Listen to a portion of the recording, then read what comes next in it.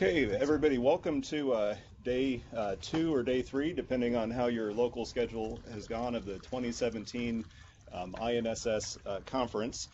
Um, our shared activity today is a cross-site panel. This is a panel that we uh, started last year. Last year was the first time we tried doing this. Um, and uh, we like to examine uh, issues um, that have um, are related to our general conference theme uh, by having panelists distributed at all the different uh, sites of the conference. And so our, our panel for this year, uh, the title is uh, Technology for Smart Connected Communities, the Bridge and the Wall. And uh, we'd like to follow up on our theme of uh, smart connected communities um, that we've been pursuing for the last couple of days. Um, we've um, in the activities that you've experienced at your sites, um, I, I, think that you will have found that the panelists and the speakers and presenters have uh, gone about examining how smartness and connectedness are technological issues. Um, but since we're a network uh, uh, that, that researches social sustainability, our particular take on this um, has been to um, also examine them as social issues.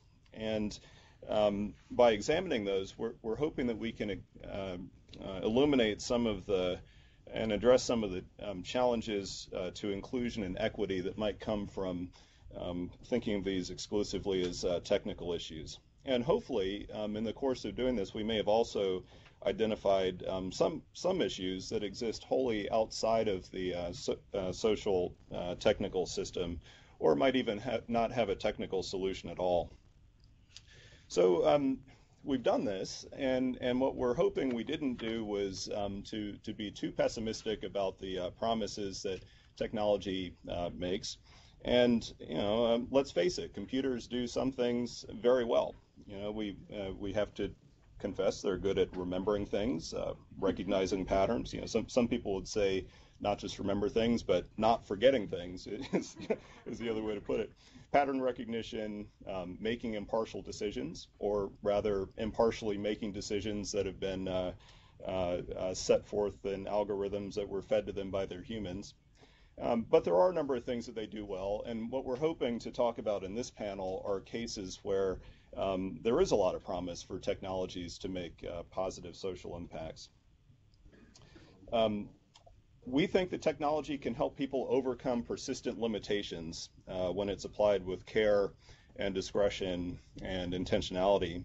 And so our, our panel that we've put together for today uh, will help us hopefully highlight um, some of those opportunities. So I want to introduce our panelists. We have four panelists um, that are going to present today. Um, and so I'm going to introduce them in the order that they'll present. Um, uh, just a brief, you, you can find additional uh, um, biographical information in the program um, that we have uh, online. Um, and then uh, uh, we'll start the presentations shortly after that. So our first presenter um, is located in Baltimore. It's Rachelle Hollander. Um, Rachelle is the director for the Center of Engineering, Ethics, and Society at the National Academy of Engineering. Um, and uh, her particular expertise is related to um, science and engineering ethics, uh, professional responsibility, um, and the ethics related to risk management. Um, she um, uh, will be addressing us uh, from Baltimore, as I mentioned. Our second presenter is Emma French, who's a research assistant at the Center for Urban Innovation at Georgia Tech. Um, she uh, uh, is a graduate of uh, Georgia Tech's dual master's program in public policy and city and regional planning. Um, and uh, her expertise or her study area for that uh, as she was pursuing those degrees was sustainable urban food systems, local open data policies, and resiliency planning. Um, and so we're looking forward to Emma's presentation. Our third presenter will be David Chavez. Uh, David is coming to us from um, uh, the, the uh, um, from Lima at the uh, Pontifical Catholic University of Peru. Um, his uh, research and teaching area is um, signals and communication theory, and he has particular expertise um, in how networks are established and used um, during critical situations, uh, remote sensing, and telecommunications. Um, so we'll look forward to that presentation from Lima. And our final presenter is, is presenting from Charlotte, North Carolina, James Walker, who's the founder and CEO of Innovative Technologies. Uh, I'm sorry, in, Informative Technologies, which is a social enterprise um, that uh, researches and develops scalable, market-driven uh, solutions uh, to the digital divide. And uh, his work, uh, we've really been fascinated with as we've learned about it in, in Charlotte. He's developing an operating system that's able to take advantage of computers that would be disposed of because they're considered obsolete, but it allows them to redeploy those machines um, in a way that helps uh, bridge digital divide. So James uh, will be our final presenter from Charlotte. Let's uh, first go to Baltimore. Rachelle, I can see you on the screen, and um, let's uh, let's um, hear Rachelle's uh, presentation. Well, uh, we've been talking particularly about smart and connected communities, and of course, that possibility or that potential grows from um, investments, uh, federal investments, taxpayer investments in research and development uh, over an extended period of time. Um, so uh, we need to look at. Um, yeah, we still can't hear you in Atlanta. What the criteria are for those investments. Uh, and whether they merit public support. So, um, so um, our justifications and the, the, justifications for our support of federal research and development are generally based on their uh, potential to provide public value. Um, but if you look at the history of um, public support for science and technology, you see that often has relied on uh, sort of two kinds of um, congressional coalitions. That support these efforts. And the coalitions are for support for um, military or defense or security research. and the coalition in support of uh, research for competitiveness, so research for uh, developing um, new industrial products or services. Uh, so what that means is that the um, while the rationale for these support is in terms of its public value, we haven't really paid adequate attention to where the benefits from our uh, taxpayer dollars are going. Uh, and now, if you look at, um, uh, there's been a new development that is trying to look at um, developing criteria that can allow us to see whether what we're doing is actually creating public value. One of the, the support for research and development has generally relied on a wealth producing model. That is, we do the research, we get increases in productivity, it produces wealth for the society. Um, we haven't really thought about our support for research very carefully in terms of its ability to um, promote equity. Um, now, this is uh, something that I see as changing somewhat uh, with um, increasing attention on the part of sectors in the public to whether, in fact, we are producing um, whether, in fact, we are making the connection between um, our research, the innovation that follows, and how, in fact, we create a more socially inclusive and equitable result, or social result. Um, so this alternative doesn't rely on the market and market success and market management. It looks at whether we have a public value success, a public value failure. See that what we're concerned about here are public values which one might think of as decent education, clean environment, uh, safe and well-paying jobs. Um, you could think about it in terms of um, green spaces, a lot of the things that we've been talking about in this meeting. Whereas market values are more in, in terms of what pays off in the marketplace. You might have low cost, you might profitability. Um, and uh, sometimes if you go into the upper right-hand quadrant, you get public value success along with market success. Uh, sometimes you don't. Uh, you can look at uh, drugs and the development of drugs as a case where sometimes you can get both if you have a large-scale drug that has a large market. You get public values and you also get market success. But sometimes you really have to do something extra in order to get drugs distributed to the people who need them because the market isn't as to So now, if, so if we look at the questions that arise with respect to smart and connected cities, you, can see some of this in a recent example that came out of a report from the National Bureau of Economic Research.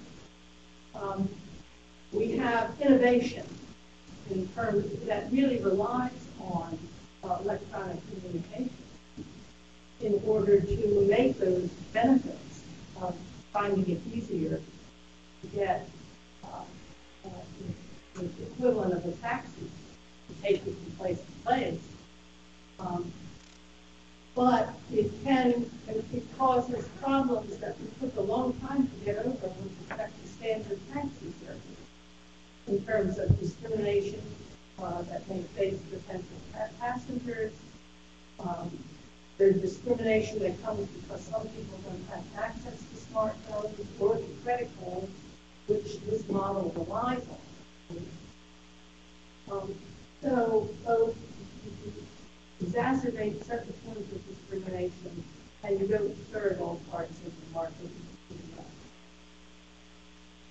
And my final example is uh, an example of also a, a, uh, a technological innovation that um, is very small scale, but if we're talking about alternative technologies, appropriate technologies, this this model uh, both uh, can, does fits into that quadrant of both providing market value and providing especially public value it adapts a technology for the use of a particular segment of uh, the um, less able community. And as, in fact, um, it's quite a remarkable sight hmm. if you uh, if you watch these baseball games being played. It's it's really quite quite something. So we can see that um, this uh, a reorientation towards using research and development in order to uh, create equity um, can be something that we could focus on in the future.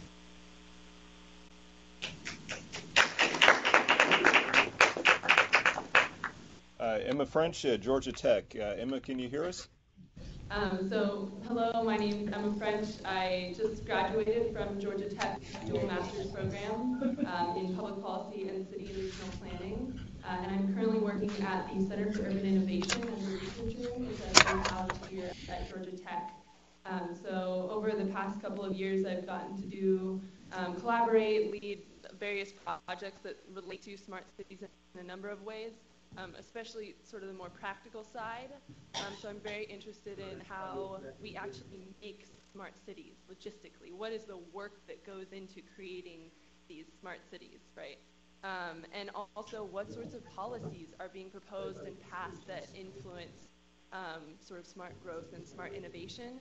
And then, probably most importantly, how are people on the ground actually using these new technologies and systems and services to actually uh, improve quality of life. Um, so I, am not an expert on any one thing, but I'm just going to briefly describe three projects that I've worked on in the last year, um, and hopefully that gives us some uh, material for questions and discussion. Um, so the first project is an ongoing uh, research project on legacy data.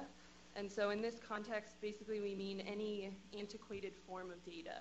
Um, so we, in our conversations about smart cities, I noticed that we are often talking about uh, real-time data, right, that's coming from these sensors. Um, but there's a lot of data that cities already have, um, mostly in file cabinets, that I think could be really useful um, to sort of fleshing out our understanding of how the existing city operates and how it has operated.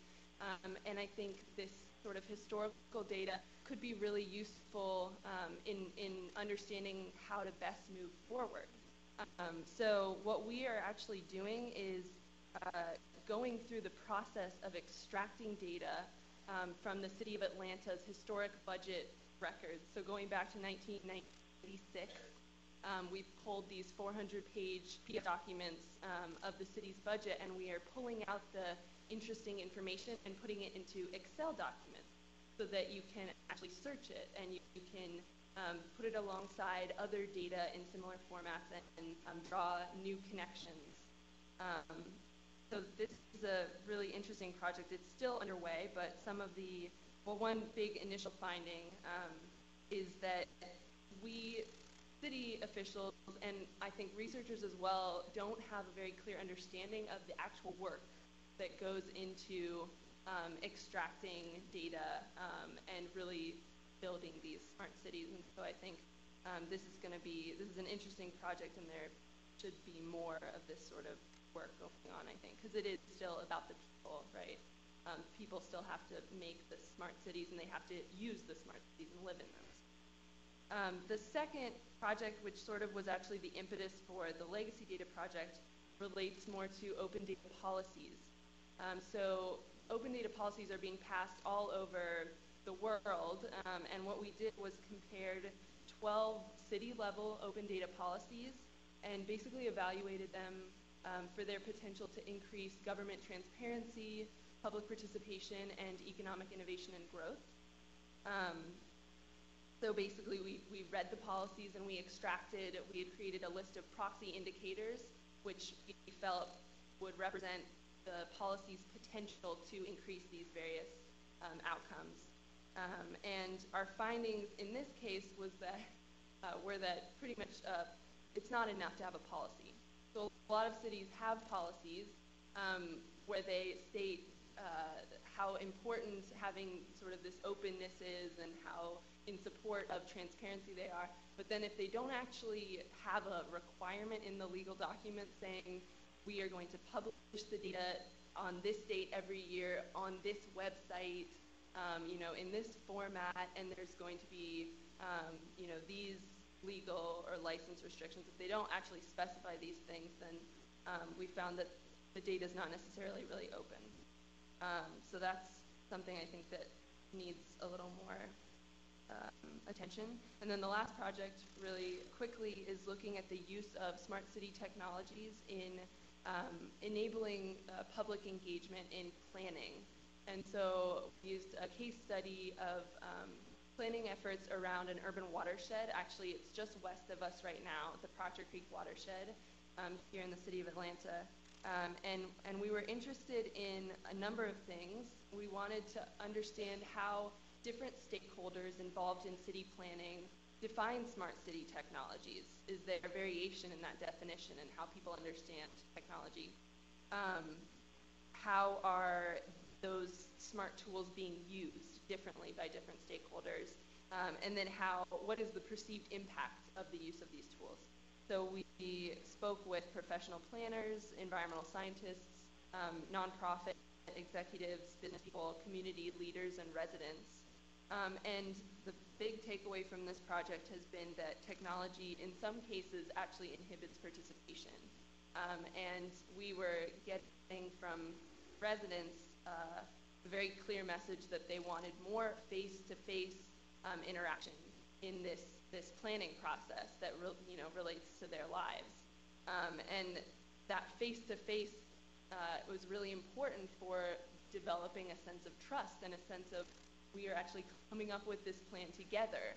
Um, and so that was that was just a very interesting finding. Um, and so just coming back to the topic of this panel, I don't think these projects represent failures or successes when it comes to smart cities, um, but they're just attempts to contextualize smart city efforts, um, existing or imaginary, uh, in political, economic, and, and social context. Um, and I think that's something we really uh, need to be doing more as we talk about and um, develop these smart city initiatives. So that shouldn't have been 10 minutes. That's it. Great. Thank you very much, Emma. So uh, let's see. Now we're going to move to uh, Lima, Peru. Uh, David Chavez. Uh, I know in advance that I have just two minutes, and in this uh, short period of time for a for a seasoned lecturer like me, uh, I will try to do my best to reach you with some comments about the work we have presented yesterday. Uh, first of all, um, I have to uh, begin by saying that um, the communities, the, the, smart and connected cities rely heavily on telecommunication infrastructure and information services even to be acknowledged as smart communities linked and networked uh, organizations. But uh, this reliance can be under severe stress whenever um, a seismic trigger emergency occurs, which is uh, something very likely to happen for Peruvians, especially those of us living in um, the large cities along the Pacific, uh, the South Pacific or the Southern Pacific coast. Um, 2007 was uh, the year we had a very uh distressful episode that um, destroyed uh, several uh, towns and small cities around the uh, city of Pisco, um, a couple of hundred miles south of Lima. Um, the damage was so severe that it compromised most of the civil infrastructure, roads, bridges, um, buildings, houses, schools, and hospitals, but also had a heavy impact on the whole Peruvian network. And Lima, which is a large city, about 10 million inhabitants as we speak, was uh, unable to use the telephone services, I mean voice services, as we call it in uh, the telecommunications jargon. Um, and cities in the north of the country, like Tumbes or Piura, were also affected in the same way. Uh, the um, anecdotic uh, side of this uh, sequence of events is that the Peruvian government, through his um, office in charge of um, telecommunication services, started an investigation. And this investigation was aimed at um, setting up a huge fine against the telecommunication operators at the time to punish the unavailability of communication services. Um, they asked for uh, counseling and advice from our engineering department here at the university. And of course, uh, we did not agree with the measure. We knew in advance that those things were to happen and indeed happened. Um, and we prepared um, a letter to them telling that uh, there is no way that a, tele, a licensed telecommunication operator would be in a position to cope with the huge increases in demand that occur whenever a, a, a large seismic event uh, happens in a large city like Lima. Uh, well, they did not pay um, much attention to our ideas. They went on with this uh, process, uh, and the telecommunications uh, had to pay the fine, uh, which was very large.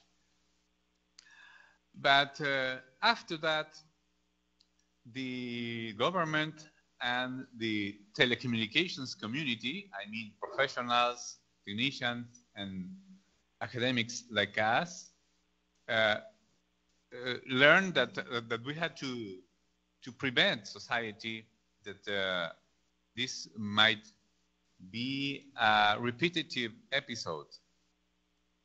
Um, so here at the university, we took um, for us the task of developing a methodology for the assessment of the Peruvian network, especially under the stress um, which is uh, the consequence of a, of a, seismic event in the vicinity of, of uh, our large cities like Lima or Trujillo or Arequipa in the north and south of the country, uh, respectively.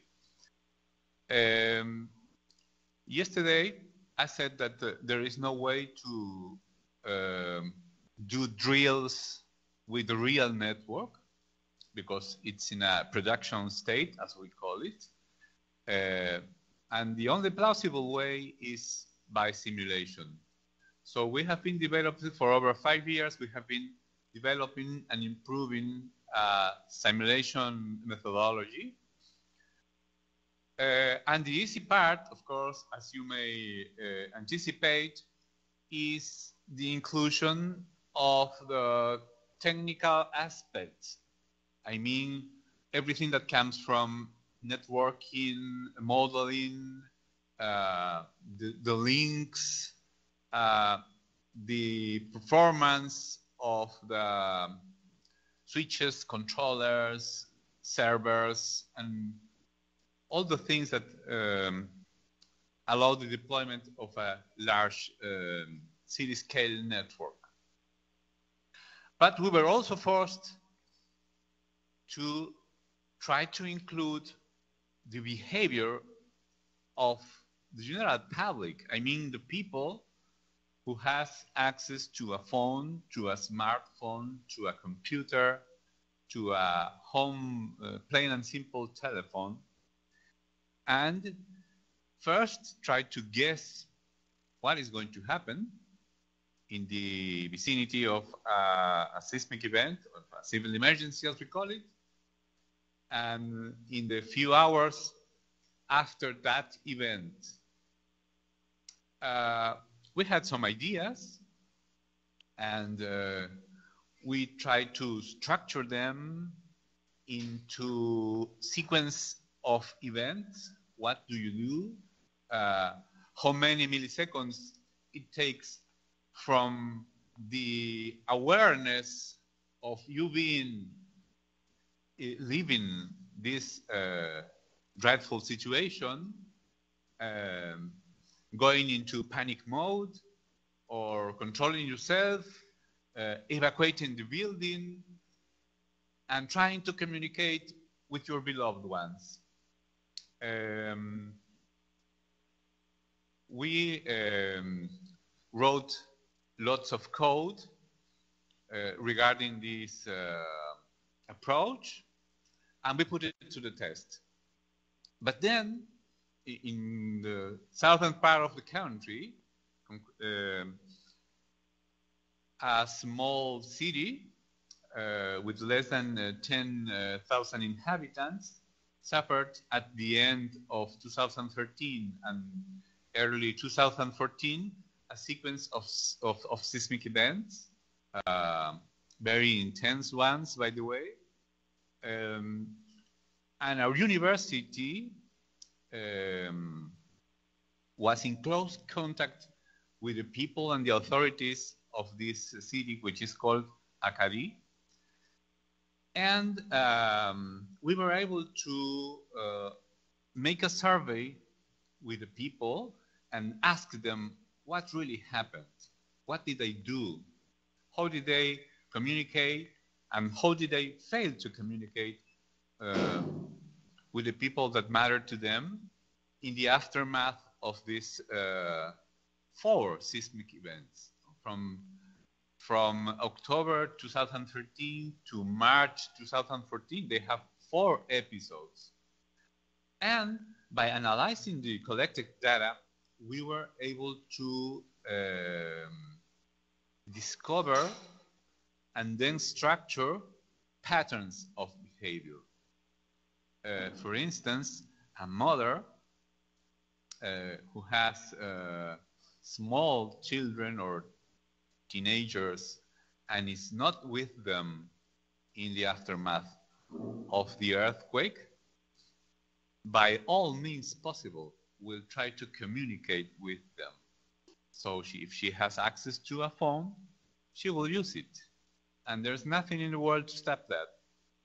That is one of the patterns we have identified, and, and, and some others. And we went uh, a little bit uh, deeper uh, into that, and we even um, include in our patterns the uh, retrials of the calls of the services, of the denial of the services, and incorporated that into our simulation methodology. And after that, we've been watching very closely what the authorities here are doing in terms of trying to cope the um, network with these uh, abnormal solicitations, with this abnormal class of service that's going to be uh, faced in the aftermath of the of the earthquake. Um, let me tell you that um, they uh, have not been uh, mm, very creative. The main message is uh, do not call, just SMS uh, or, or, text, as you may know it. And um, if you indeed want to call, just call um, a bulletin board under a very easy to remember number that you have to dial, which is 119. So we simulated that, and uh, one of the results of our simulation is that in, in the vicinity of Lima, we have a movement uh, north of 5.5 in magnitude. The network is going to collapse. Uh, and the surge in user demand will render the network useless. Um, and with that magnitude, uh, no tower is going down, uh, no link is uh, breaking up, no fiber optics or uh, copper cable wire is going to break, but communications will be um, in very poor performance or collapsed as a service. Uh, and then we scaled things a little bit up. We went to a 6.0 to a 6.5 and uh, to a to a 7.0. Uh, may God never uh, put us in our living time in that situation. Um, and the effect was uh, consistent with our working hypothesis. The network collapses mostly by demand, and then as the uh, intensity and magnitude of the seismic event increases, um, some parts of the infrastructure might be compromised, but uh, the, the failure has already occurred because of surge in demand. So the next step is try to figure, creatively speaking, what to do, what measures to uh, set up in the network and in the people using the network in order to uh, try to uh, prepare for this imminent failure. And we have uh, we have uh, devised uh, a dozen of, of measures. Uh, all of them can be really implemented. Um, and they range from a huge intervention in the programming, in the controlling, and in the management of the network components, which is something very uh, engineering biased. Uh, and as engineers, we know that we can do that. Uh, but there's one last measure, the 13th, that um, is very um, difficult to address because uh, engineers by ourselves cannot um, do our best in this field, which is, as you may expect, user behavior. So um, we need society, Peruvian society as a whole, to uh, address this uh, this thing, and uh, our idea is to incorporate in the monthly or bi-monthly evacuation drills uh, that we all have to pass here in Peru. Um, some steps, not just uh, about uh, how to get out of the room and how to look for the safest place, but also regarding how to use or not use telecommunication services, and especially not reaching the phone and calling your beloved ones uh, to know how did how they did in the during and after the earthquake. Um, so that is one of the um, the main outcomes of our research, and it, it never stops. It, it keeps going. Uh, we're trying to improve the reach and the power of our simulation. So thank you very much. Very much, Dr. Chavez. Uh, we have one more um, panelist to present uh, from Charlotte, James Walker. I'll begin. So I'm James Walker. I'm the founder and CEO of Informative Technologies, which is a social entrepreneurship uh, venture that is based here on UNC Charlotte's campus in their incubator. I also uh, have uh, the honor of receiving Sustain Charlotte's 2016 award for um, being first place in driving social equity and empowerment through a model that I'd like to just walk through briefly. Um, our discussions about creating a socially sustainable city naturally, of course, will gravitate, as, as our Peruvian uh, correspondent said, towards engineering or civil society itself. But I would like to focus on the last mile. Um, this particular panel uh, is about making sure we think about the social context of having improved infrastructure. We're supposed to have more jobs because of smart cities. We're supposed to have more educated empl- uh, and employable citizens because of smart cities. But what has to happen is that in the house, the house environment has to also change. Let me give you an example here. So if you look uh, at your screen, um, you see our site, informativeinc.com. I encourage everyone to take a look at uh, the what if section. And we say, what if used, unused computers could be shared instead of scrapped? And we're talking more systemically than just refurbishing things or buying a, a, a used phone for half the price. We're talking about rethinking the whole process of e-waste. So using Charlotte as an example, Charlotte has um, is in a county uh, that is over a million um, in population. According to the library uh, system of Charlotte, Mecklenburg County, nearly one in five Charlotte area households are disconnected.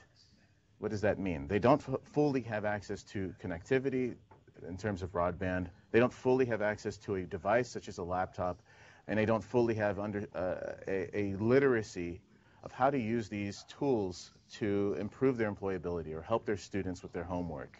So they're uncomfortable with technology. So this is why when you go to your public library, particularly um, in a large urban area, people are in line to sit at a desktop computer for an hour and wait to be kicked off and come back the next day in 2017.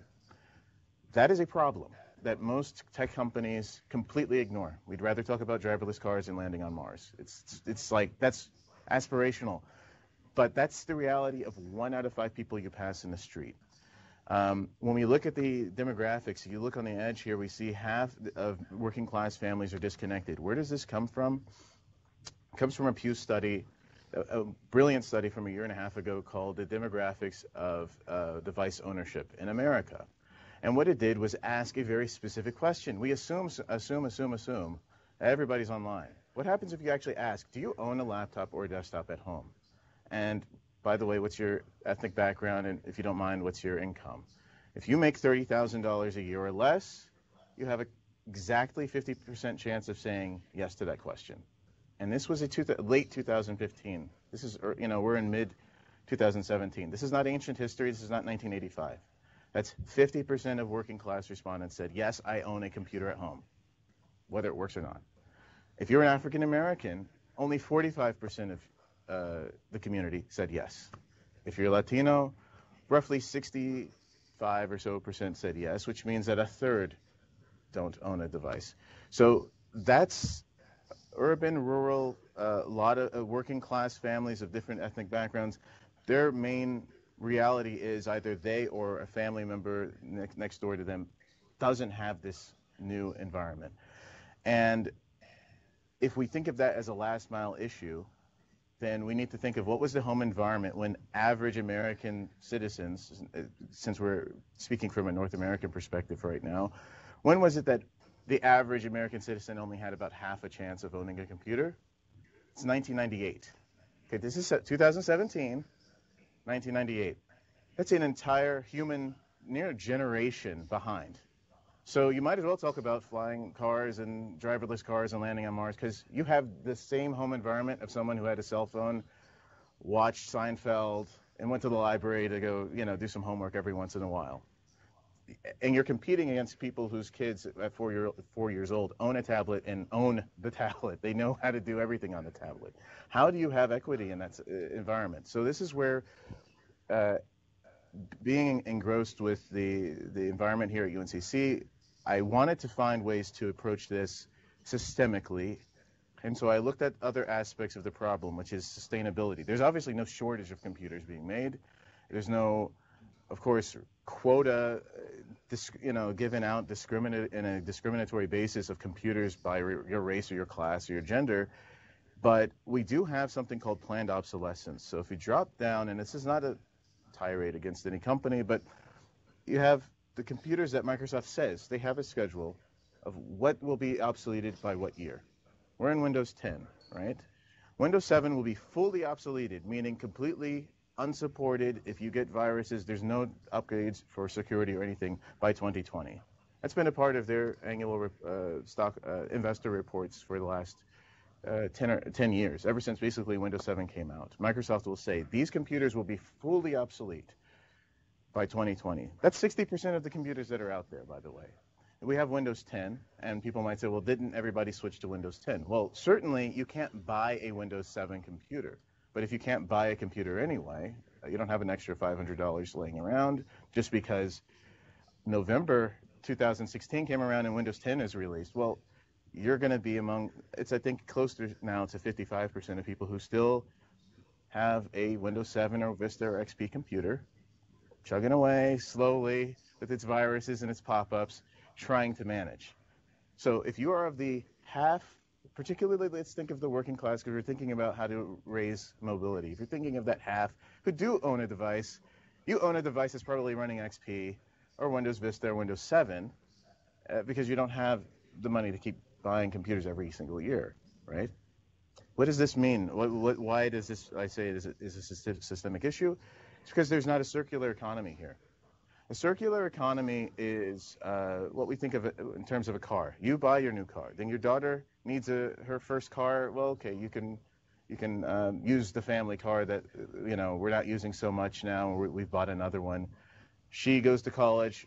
After she graduates, sells the car, and then somebody else has another car. And it's like the, the price of the car is low or free or given away, and you can ride Uber, and you can continue to basically make value out of that car until it's totaled and then a tire company will buy the tires, and a scrap metal company will buy the steel, and it will be made into a new car and new tires. That is very efficient, right?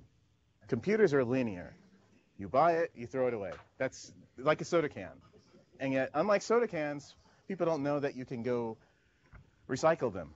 So this is the third point that I want to point, point, mention. EPA estimates 2.4 million tons of electronic waste went to landfills in 2012. So that's a five-year old number. Obviously, our population has grown. Just alone, that would increase the numbers. But 70.8% of that, 2.84 million tons, so that's times 2,000 pounds, right? So billions of tons, was not recycled. It went to landfills. Roughly 30% are either stockpiled, like it's in our you know, junk drawer, the old phone and the tablet, or it's in our attic, or it's in our garage, or it's recycled. Um, that's, I guess, okay, uh, but we have to think about the fact that unlike a car, a computer is a machine that is just processing ones and zeros. It's not sitting in 100 degree weather in, for half the year and freezing weather the other half of the year. It is just sitting on someone's desk crunching numbers. It is a completely preventable problem. It is just a difference of software. We focus on using open source software. Google, for example, many people, many people like myself who study computer science know that Google kind of does the opposite of Microsoft and Apple in that they open source everything. They can say, hey, if you can read source code and you want your computer to run Google apps, and uh, fine, you know, just don't call it Google and just don't call it Chrome. But just use generic names for it. That would be like Microsoft saying, yes, you could pay $110 to upgrade to Windows 10, or here's all the source code. If you know how to, you know, compile code, you can have it for free. What do you think people would do? Of course, they would do it for free. Just take a take an extra step and, and, and learn how to do it for free.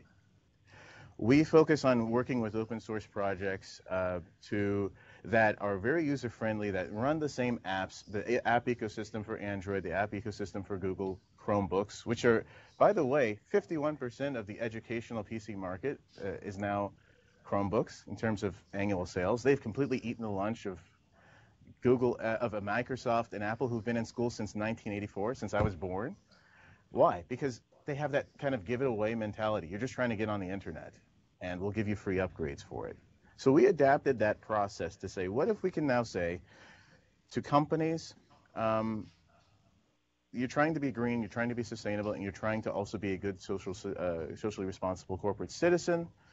Why don't you read, uh, direct the flow of your technology when you do a refresh project? My, my background is in, is in the IT industry. Refreshes happen uh, constantly, even if it's as an employee of a university, you get a new computer every three years. That means every year, a third of the employee base are getting computers. So there's a massive amount of waste that is generated because they have no room for an entire workforce of old computers that are no longer in use. We have a facility that we partnered with. It's a woman-owned zero landfill uh, uh, electronics recycling firm um, that is based actually in the north end of Charlotte, which here Charlotteans will be able to do a, a foot tour of. And this is a smart city pilot area where we're trying to take an industrial, um, low-income area moderate um, crime, moderate, uh, above average poverty, and drive job and, and innovate job creation innovation there. So we run half of that facility. So we have the ability to take in from the entire uh, thousand mile radius of Charlotte uh, computers from campuses, from uh, other organizations, um, companies like AT&T, for example, and we sort them for reuse. If we if it truly is unusable, not because of a software glitch on one company's side, but it's truly unusable, it was a drop screen and it was completely damaged, they will, as a non landfill recycler, find a use for every single component, even the lead, even the mercury, and other companies buy that in order to rebuild technology. More importantly, though, is what about the job creation piece? How do we diversify IT, for example? So what Informative does is something that is very interesting. No other startup has approached workforce development organizations that are nonprofits that give um, federal grant money to students who have barriers to employment to get work experience. So I said, well, I would love to do that. I would love to keep the margin, um, of course, high, but the price low. Uh, let's say I want to have computers for $50. I want a laptop to start at $50. How do you ramp that up systemically? And it's not a giveaway, and it's not one grant that covered it and it goes away. If I have a workforce that I don't have to pay for um, in terms of daily um, or hourly compensation, but they're paid $10 an hour, it's perfect situation, right? All I have to do is train them. So what we've done is we have done thousands of hours of internships, dozens and dozens of students over the last year, and we have been able to get students from the exact same demographics that we're talking about, uh, young men and women of African American and Latino and working class white backgrounds to work together building computers, which almost none of them had at home. So they had no, not just the, just the experience of a full keyboard, like that level of uh, unfamiliarity. To go from that to within two hours, they've built their own laptop to keep. And from there, we teach coding and we teach how the internet works. We teach how to work on a team. And every day, they are actually producing technology that will then go to the library system. We have a representative here for the, the for the district. We have uh, big brothers and big sisters, the YWCA, the y, and various branches of the YMCA, just to name a few, who can then easily afford to create computer labs and to offer constituents this uh, low cost, uh, last mile solution to this technology barrier. Working with um, everyoneon.org, which provides uh, subsidized um, broadband. These essentially are um, $10 a month uh, broadband homes who are getting subsidized rates from AT&T or Verizon or T-Mobile that have a $50 computer. That's something that can scale. And ultimately, if you look at the the idea of a smart city, you have dozens of students each semester who will be able to serve and support those devices.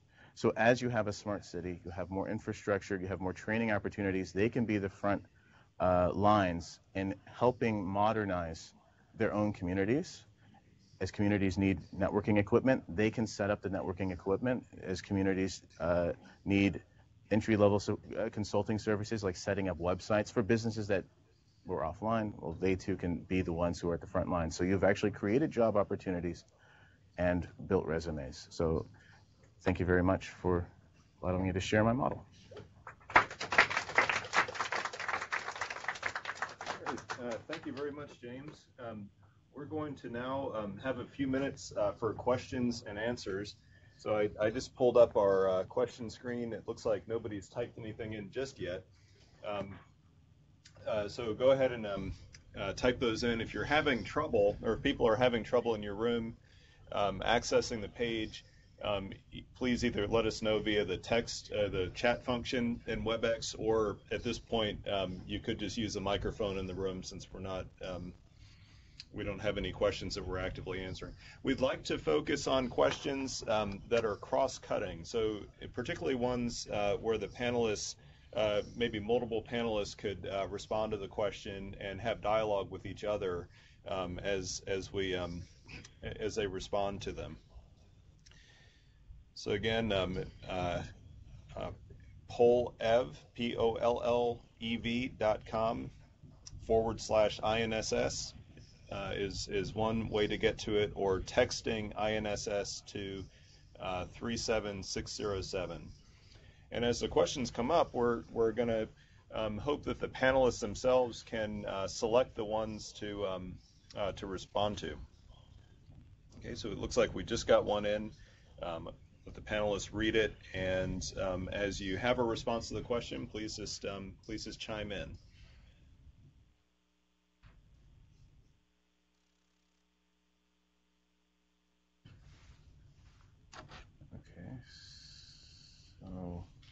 Um, if I can, uh, this is James in Charlotte. So the first question was uh, essentially about making um, making sure that the rise of smart and connected communities um, don't lead to a further pushing away of low-income individuals from society.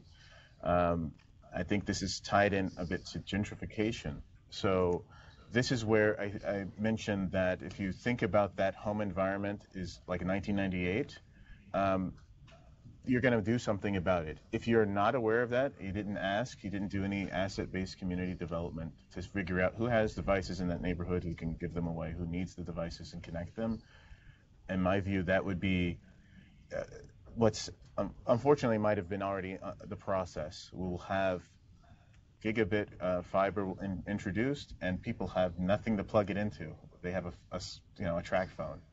Um, so I would love to hear any other um, feedback from other panelists.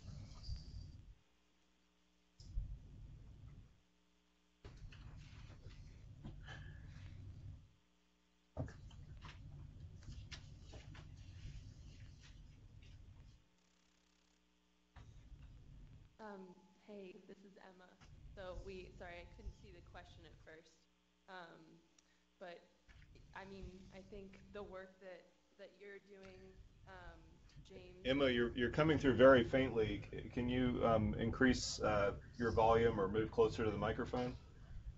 How, can you hear me now? That's better. Thank you. Sorry, everyone in the room. Um, so I, I, think the work you're doing, James, just seems to me like um, a very direct way to be sort of addressing some of these more um, systemic um, social economic disparities. Uh, and then your point that this is really sort of touching on gentrification, I think there are there are definitely policies that I think that should be um, considered. And is the mic still on? Yes. Yeah. Okay. Yes. Um, I know there's work being done here in Atlanta. I think somebody was talking from Walt yesterday. Um, there's work being done to try to to prevent displacement in in areas where we are developing really quickly and smart um, technologies definitely will be adding to just the patterns of displacement.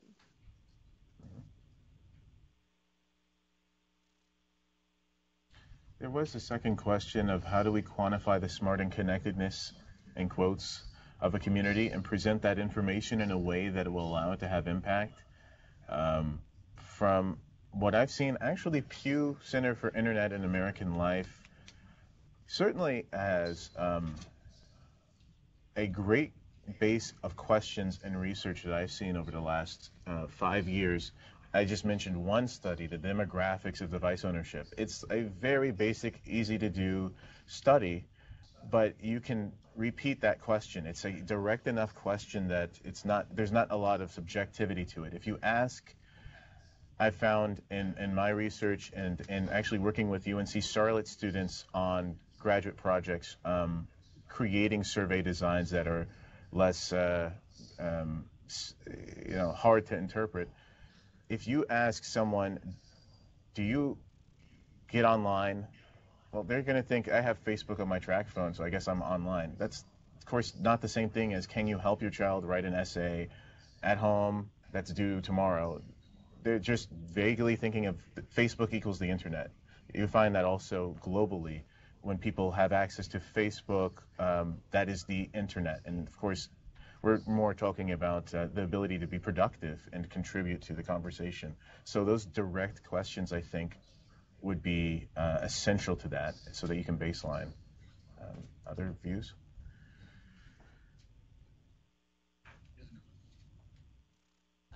I would just say I think um, one way to quantify is um, taking note of, of how how much and in what ways citizens are engaging in existing decision making processes in cities.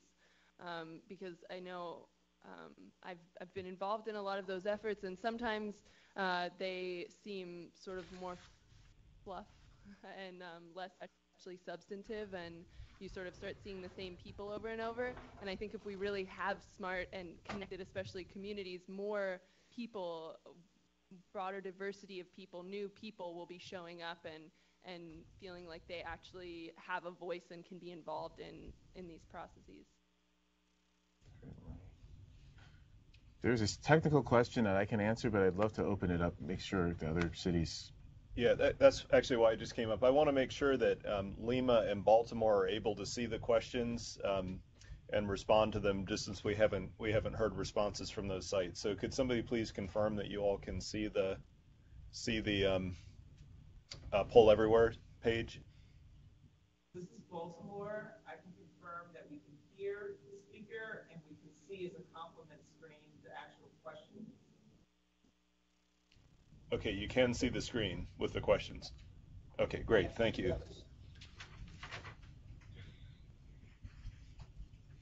Okay. Okay. Move to next? So certainly, there is a question about uh, how do we ensure open source software is secure and usable for a long time without a centralized update system. The Linux kernel receives updates regularly, but what about software not included in the kernel? Essentially, how can we prevent the devices from becoming abandonware?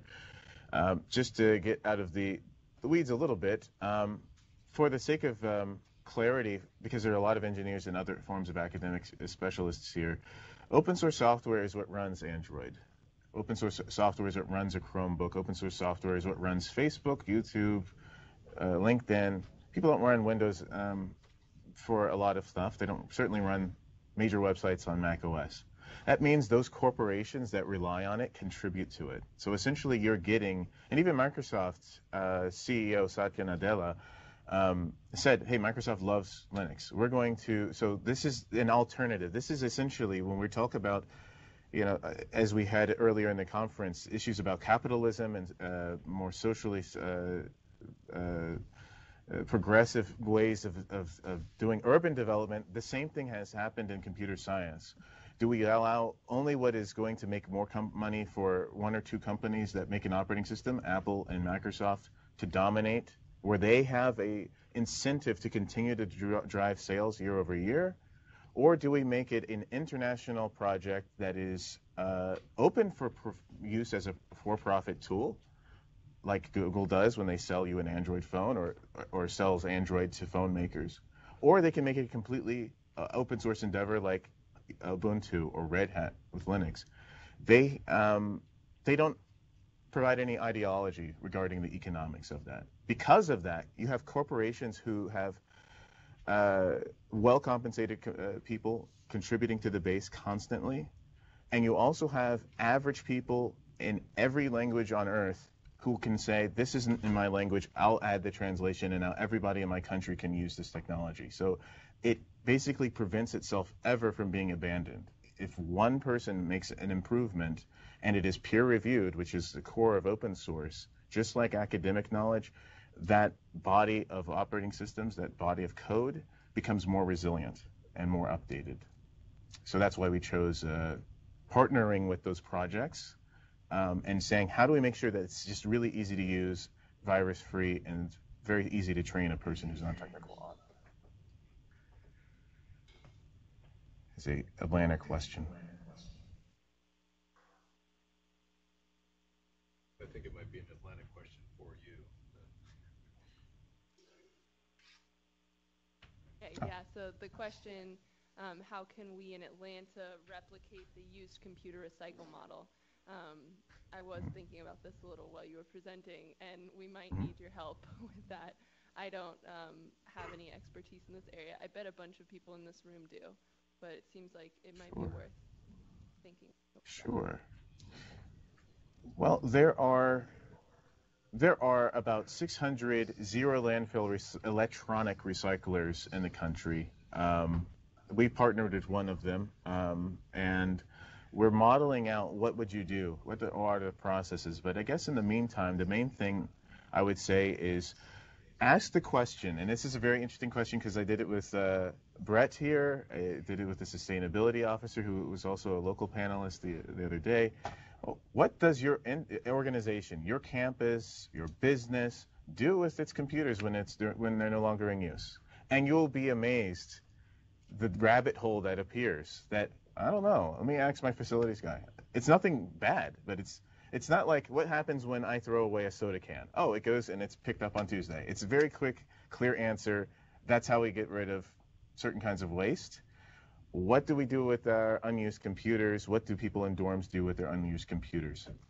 Those are questions that you can begin to ask, and then I would love to be in contact with you on what answers come up and how do we find ways to partner with local nonprofits and workforce development organizations to say, you know, how do we train youth in your city to use that as something that they can begin building as a pilot for an, a nonprofit who can distribute that in a, a, particular neighborhood and then watch the results. Does that help with homework um, completion rates or other things in a, in a, study? And that's what we're also doing here at UNC Charlotte. So I'd love to be in contact with anyone who has questions about that. I guess um, Brett uh, is able to share contact information sure. um, with with anyone. Um, so yes.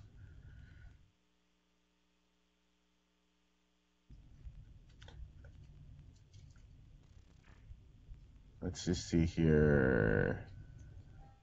Okay. Wanted to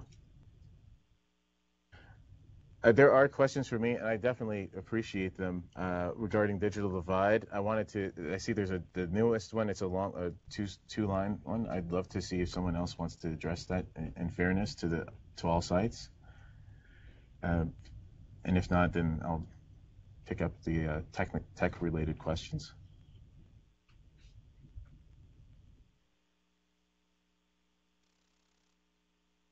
The the question that just came in, in case um, people are having trouble seeing it, is as we work to improve sustainability, especially in urban environments with high levels of diversity and race, uh, gender identity, lang- language, and many more, how can we make sure that the voices of minorities uh, who might even be the most impacted by these changes are heard? So I, I think um, this question, I think, is something that all um, panelists uh, touched on. So I'm wondering if we could um, work our way around uh, some responses uh, to this question.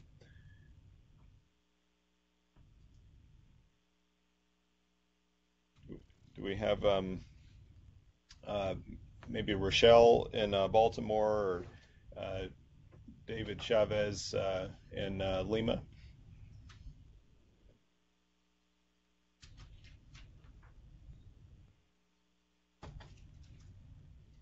Okay, well, um, okay. not getting a response from those sites, so uh, okay. James, do you want to? All right. So there were questions that I would like to kind of address together. One was um, three minutes ago. Do do you have plans to have other sites like in Baltimore? So I'm glad that there's also interest in Baltimore as well as Atlanta. I would again love to be able to have um, dialogue with you, and uh, we do have a reach in terms of our collection sites, so we can do pilots that are in other parts, especially of the East Coast, uh, and do all of the heavy lifting, the literal, like getting thousands of pounds of computers moved around, uh, handled, and then we can pilot that here in Charlotte with our youth, and we can share results and, and expand. Uh, it's just a matter of uh, getting in touch. Um, and again, the site is informative inc.com if you there's a uh, contact form. But more to the benefit of everyone here um, one there's a question about the impediments to bridging the digital divide and then somewhat similar how common are simulations are, uh, are simulations of tech user behavior? Um, is there an assumption that smart connected cities will be free lab rats for tech developers? Um, so one you have an aspect of um, making a, a, smart city kind of like a tech hub, the way that you might uh, create a innovation hub for a city by creating co-working spaces and, and then you run a, a pipeline of gigabit fiber there. Um, and the, the other, the, there's an important, and I think just as we had, as someone said, well, how do we make sure the voices of minorities and others are heard? That's certainly what I would like, I, I advocate for within the tech community. Um, you have serious issues um, even with the, the digital divide uh, question, if you take San Francisco, obviously have no problem with hearing voices of minorities as a as a, an ideological goal. But only 2% of the workforce of uh, Twitter, Google, and Facebook are African American and Latino in California, which is, I think, majority minority if it's not, certainly in its major cities. So, uh, except, uh, except for San Francisco proper.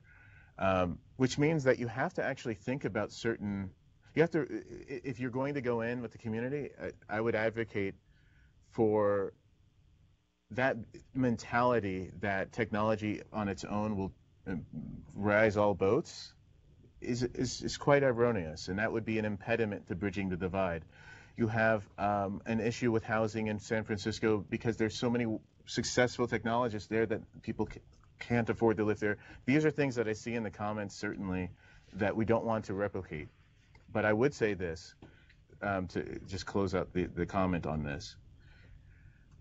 I, I give Google um, some strong uh, admiration because they did say we're going to partner, for example, with HBCUs and hire computer scientist students or underclassmen interested in computer science and nurture them at our campuses. One of our first students, a young African American lady who never built a computer before, is now graduated high school, high poverty high school, and is going to be one of the first people from the Charlotte area enrolled in that program.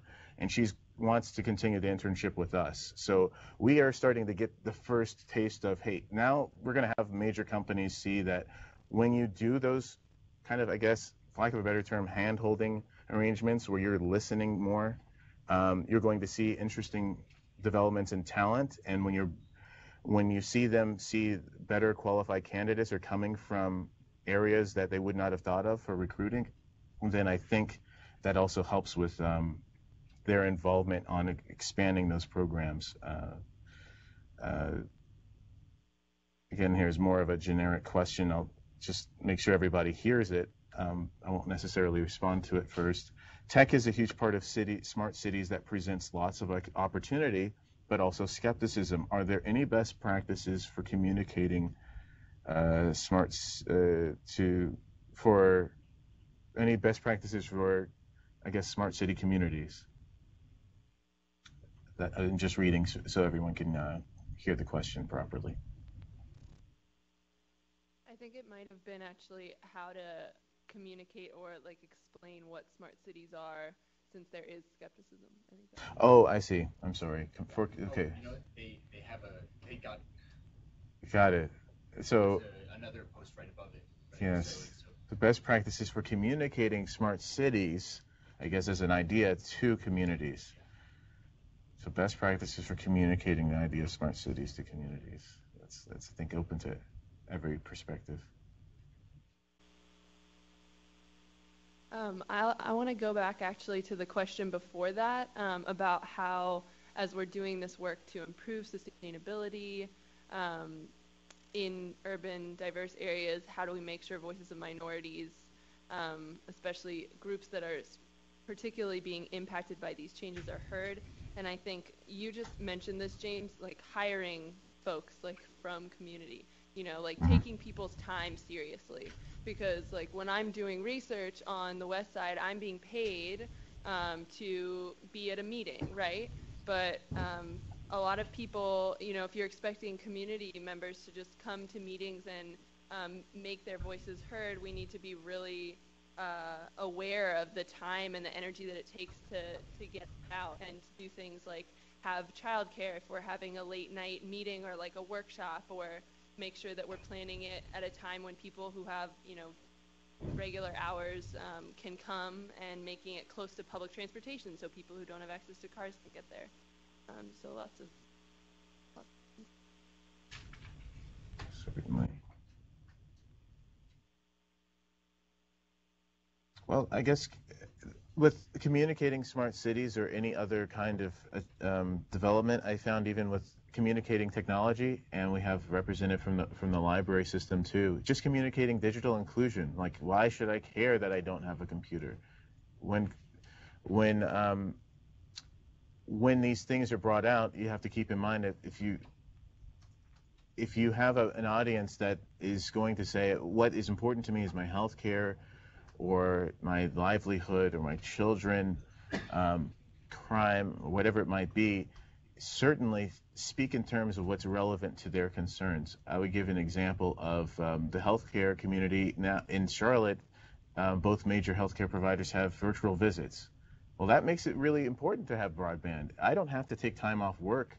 I can go on a lunch break, pull out a laptop, or go home if I need some privacy for an ag- uh, certain kinds of examinations, and just have a webcam secure linked to the hospital and do a checkup visit instead of taking time take to, to take a bus to and from work and lose out or possibly lose my employment.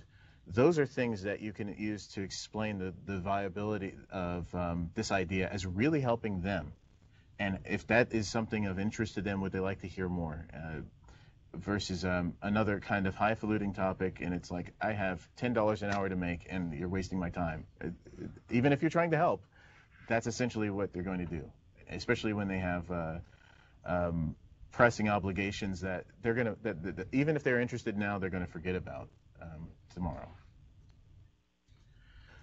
Uh, can I just piggyback on that a little bit? Um, Mhm. Making sure we want to make sure that we actually are listening. So, um, for instance, on the west side, when we were talking about environmental planning efforts, folks wanted to bring it back to jobs, and that was their priority. And so, if if people are voicing that, um, but that's being ignored because the planning group went in there to specifically come up with an environmental management plan.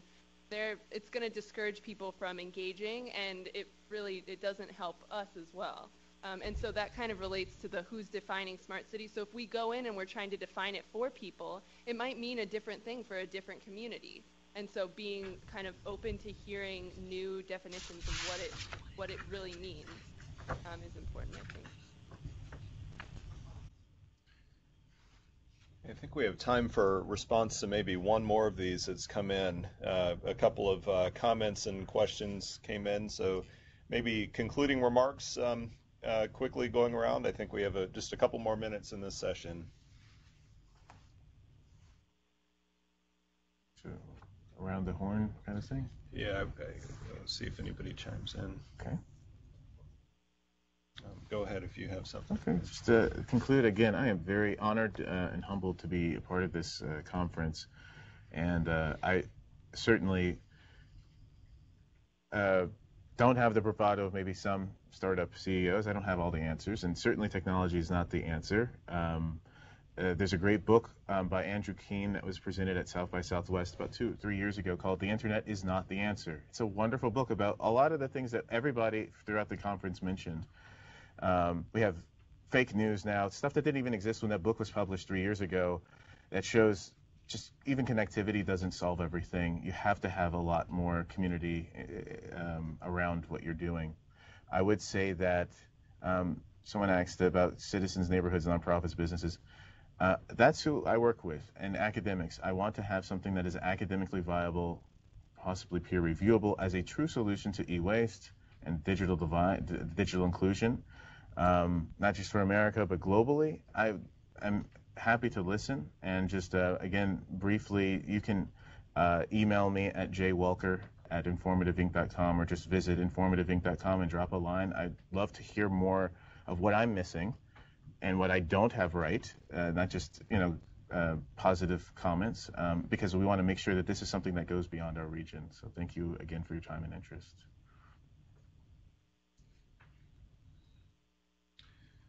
Great, thank you. Are there any other um, uh, panelists that have a, a, a, concluding remark?